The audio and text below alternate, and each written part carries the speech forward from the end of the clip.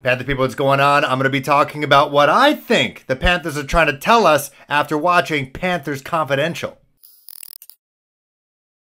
You're watching Panthers Post with Phil Perkins. Thanks for joining. Uh, okay. Shout out to the content team with the Carolina Panthers. They know it's kind of a lull right now in terms of the NFL when it comes to content, comes to breaking news. So they dropped this at the perfect time, about 25 minutes, super crushable uh, Panthers Confidential. You can watch on YouTube. You can watch on their website or their app. Again, I'm not getting paid by the Panthers. I'm just saying shout out to them because they know there's not much to talk about right now besides you know some rookie mini camps, seeing guys in their jerseys, picking out numbers and all this jazz. But they're giving us actual things to talk about and things to break down and to overreact about pretty on the nose and very telling that they had former left tackle Jordan Gross be the narrator for this Panthers post, not only because he's a Panther great, he's in the Ring of Honor, but also he was their last real good left tackle. And that kind of led very nicely into them picking Ikem Ekwonu out of North Carolina State with sixth overall. And I will say, now I'm probably reading way too much into this. I'll give kind of take you behind the curtains here. I have a science degree. I have a science degree that I don't use anymore, but I took Psychology 101, I took Sports Psychology, and there's something that Ikem Ekwonu is doing that I don't know if he's aware of is doing it, but he's picturing himself at a certain situation. He's picturing himself um, succeeding at a certain task. Now, he talked about he, he obviously is a Charlotte guy. He wore 704 on the chain. Uh, he has been a Carolina Panthers fan since time and he has a great photographic memory. He was they actually had him walk through the stadium of Bank America uh, and the end zone seats right there. I've sat there as well. Awesome seats. Shout out to Cliff. Um, but he kind of like broke down each scoring play, each big play during the NFC Championship game in 2015 against the Arizona Cardinals. You know, he talked about Luke Kuechly's pick six. He talked about Ted Ginn's uh, scamper for a touchdown. Talked about Cam Newton doing the Superman right in front of him. And he talked about how, you know, that was an amazing experience, number one. And number two, he talked about how now that he's a Carolina Panther, officially, uh, how I'll put aside here, how amazing is that that the Panthers have been around long enough now that they're actually drafting players who grew up watching this team. Remember, they came out in 94, 95. You know, there were some people already established NFL fans, whether it's, you know, with Washington, Dallas, Buffalo, Pittsburgh. But now you got guys who are growing up literally looking up to Cam Newton, Luke Kuechly, Christian McCaffrey, Greg Olsen, looking up to those guys. And you now have a fan on the team, and I talked about it before. That is a huge asset that money can't buy. But, anyways, back to the picturing success. He talks about now how he wants to win a Super Bowl with the Panthers. And to get to that, he said, you have to win the NFC Championship game. And so he thought it was valuable that he actually saw it happen right in front of his face in real time, the Panthers winning the NFC Championship, kind of putting himself in that helmet, in that position. And so now he's like, okay, I've already mentally been there. So when I get to that moment, it's not going to be a big deal to him. He's not going to freak out, even if it were to happen if he was a rookie. My goodness, if that happened, that's wild. And so the next step would be to go to the Super Bowl and to win the Super Bowl. Now that brings me back to Russell Wilson, who people are now comparing Matt Corral to a little bit because who drafted him and at what point in the draft. But Russell Wilson lost the NFC Championship game before the Seahawks won the Super Bowl. And what did Russell Wilson do right after, like, you know, a couple weeks after losing the NFC Championship game? He was in the Super Bowl. He was watching it as a fan in the box. Why, you may ask? He said to reporters, he wanted to visualize himself at the Super Bowl as if he won that NFC Championship game, then going to the Super Bowl and then hoisting the Lombardi. He was visualizing it, visualizing himself doing that. And what happened the very next year? Won the Super Bowl. And so Ikem getting a bit, not even knowing it, bit of that Russell Wilson playbook and visualizing in his brain when he was a teenager winning the NFC Championship with the Carolina Panthers as a member of the team. And the next is a Super Bowl, which I hope he hoists a Lombardi one day, and I'm sure he will. You know, there's obviously some things that they don't talk about during, you know, Panthers confidential about the draft. They don't talk about Baker Mayfield, Jimmy Garoppolo, Sam Darnold. They don't talk about those guys. They just talk about the prospects. The point of this program is for them to get you and me hype about these rookie class, which obviously we are. And so when they talk about a certain quarterback, number nine, now that we know Matt Corral out of Ole Miss, they kind of go back eight days before the draft. They have their war room, you know, that Bank of America Stadium in the war room. Scott Fitterer running the show, just giving a lowdown of the prospects. And it seemed to be a consensus uh, with the Panthers scouting staff that Matt Corral was their number one QB on the board. Number one QB. This is not during draft night be like, ah, this is the guy, I guess, you know, he's number one right now with who's left. He was number one on their board, ahead of Kenny Pickett, ahead of Malik Willis, ahead of Ridder, ahead of all those guys. And so you hear Matt Rhule say, and I'll, I'll talk more about Matt Rhule later, but you know, Matt Rhule talks about, you know, watching the tape with, with Matt Corral, it's the most convincing uh, tape that they have, and it kind of makes sense. You know, he played in the SEC, played with a big in a big program against big time competition. Alabama, LSU, Nick Saban. I, I, read in the Alabama news, like a local Alabama news, they were about to play Ole Miss last year, and Nick Saban talked about what it's like to prepare for that offense.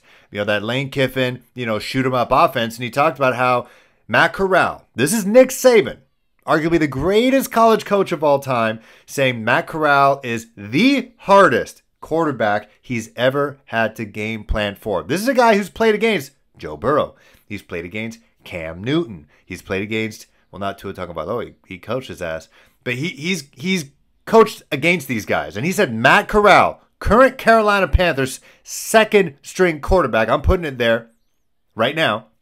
Was the hardest quarterback they ever had to scout for. And so it makes sense that it's the most convincing because you can always poke holes in everybody else. You know, Kenny Pickett, small hands, playing the ACC, which is a very, very, very good division. But, you know, he's a five year starter. You know, it took him some time. This was his only really good year uh, as a starter with the Pittsburgh Panthers. Malik Willis, transferred out of Auburn, had some issues that he admitted to. Playing at Liberty, not top tier talent. Uh, Desmond Ridder playing really well with, with Cincinnati, elevating them to the you know the college football playoff. Uh, but still, Cincinnati is what it is. He didn't play against great competition during the regular season, but Matt Corral kind of checks all those boxes. And then you have Ben McAdoo, who we've talked about in previous episodes. Check those out. That he is a whiz when it comes to analyzing quarterbacks before they get to the league. He gushed over Patrick Mahomes, tried to trade up to get Patrick Mahomes. The guy loves, even though he doesn't look like a very uh, athletic dude himself, I'm sure he's very strong, got some dad strength. He loves dual threat athletic quarterbacks. And he talks about how Matt Corral could be a unique athlete quarterback for this team. He says he loves his athleticism. He says the ball pops out of his hands. He can pull the trigger whenever he wants. He is exceptionally accurate. That's what Ben McAdoo says. He says he loves this kid. He says he could be very unique. He loves his athleticism.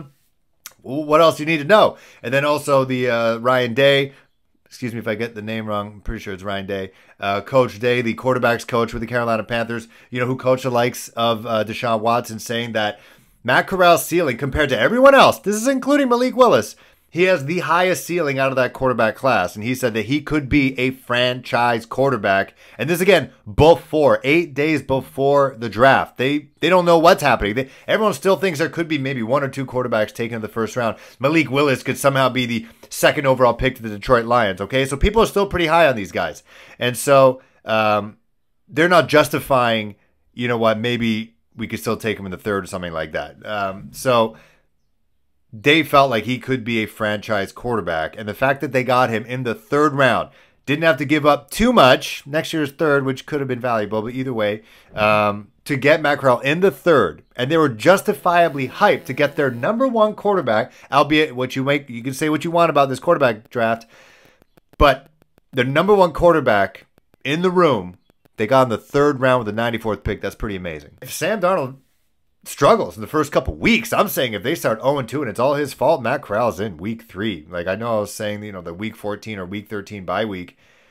Man, it could be earlier than that because I think Ben McAdoo and him got a great relationship and a great rapport, and him and Matt Rhule is the same deal. I think that could happen sooner than we think. Couple personality things that I noticed. Um, you know, Matt Rhule seems to be getting very comfortable, which is good. I don't know if he's comfortable because he's he's entering his third year as an NFL head coach, or he just doesn't give a f anymore. Um, there was a scene where they were kind of re- trying to recreate how they nailed the first couple picks in last year's draft in Panther Confidential, and they kind of went in there and they're him and uh, Scott Fitterer, who definitely seem to have a great chemistry with each other, uh, kind of walking in, kind of mocking that whole scene and talk, you know, talking to the camera, knowing that it's there. Um, but he just, he just seems to have more of a personality than well, we know he has a personality, but he seems to be more nonchalant that we thought he would be for a guy who we all assume is on the hot seat. So he seems pretty relaxed, which I guess is a good thing. I'll also say there was a lot of talk entering this draft that, you know, Scott Fitterer is running the show. Scott Fitterer is running the show. And no doubt he is running the show. You can see he's running the war room leading up to the draft. But when it came to draft night, Matt Rhule was doing a lot of talking. He was doing a lot of talking, talking about how we love Corral, talking about, you know, the trade for Corral, talking about, you know what, this is what we do it right now. We're going to do right now. He said he was kind of praising Scott Fitter for being patient up to that point. And then when the moment came, like, you know what, we got we got to pull the trigger right now. We got to do it. And then they did it. And then, as we mentioned before in previous episodes, check it out. You know, Matt Rhule on the phone with Bill Belichick, the greatest professional football coach ever. And he's talking to him, wheeling and dealing, saying, oh, next year, second? No, no, no, no. We're not doing that. Scott Fitterer uh, agrees. All right, he calls Bill Belichick again. Okay, we're going to give you a third and uh, this year's fourth for this year's third 94th pick. Okay, done. Write it up. That wasn't Scott Fitterer. That was Matt Rhule wheeling and dealing with the greatest coach of all time. So shout out to Matt Rhule for completing that and looking better. And again, take everything with a grain of salt, but looking more confident and not as – you know, uh, dead man walking as we may have thought he would be entering his third year in a must win, must succeed situation. I guess when David Tepper said, hey, it's a five year plan, we've always said that with each other behind closed doors until right now. I told everybody maybe Matt Rhule doesn't feel the pressure at all and it's all just us. He's feeling good. Another person that I thought was pretty interesting, uh, they didn't have to put him in, but they did uh, was Steve Wilks. Steve Wilks talking to Ike Ekwonu when he walked into Bank of America Stadium, the uh, the front entrance there. Such a calming presence. Uh, definitely a guy who who has been through it. You know, been through as an interim head coach with the Panthers, a head coach of the Arizona Cardinals, dealt a horrible hand, treated absolutely unfairly, gassed, and then back here in Carolina. You know, he's a guy who's seen some things, and I think, despite the fact that he's coaching DBs, uh, and Icky going to be obviously a left tackle, maybe he could be a safety on a blowout wins or something. I don't know, but he seems like a coach that I feel like everybody, no matter what position they are, could go to and talk to about life. And I'd love to talk to Steve Wilks just about life. He was just such a such a cool dad figure, um, and I think, yeah, I think he's going to be a humongous fit. And if it happens that Matt Rhule is somehow gassed in the season I see Ben McAdoo just staying as offensive coordinator, calling plays, and Steve Wilks being the head coach. Because look, he's talking to left tackle drafts that he's draft prospects that he's never going to coach. Um, but you know, when you're the head coach, you're the CEO of the team, and yeah, I could totally see if Matt Rhule gets gassed at some point in the season, Steve Wilks is going to be the interim head coach yet again, and I think the players would be okay with that. Just seeing how Icky reacted to him.